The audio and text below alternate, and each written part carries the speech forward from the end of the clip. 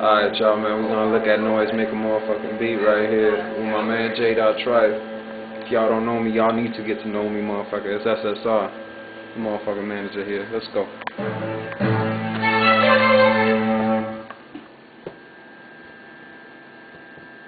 That nigga Noiz. God damn. Noiz, I ain't motherfucking. Noiz, I ain't fucking know, man. Noiz.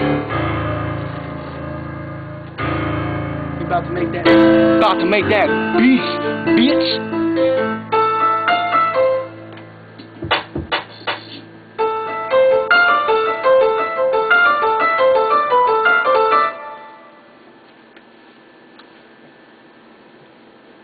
Check what it is. As you can see, the man is busy, Yeah. like always. what?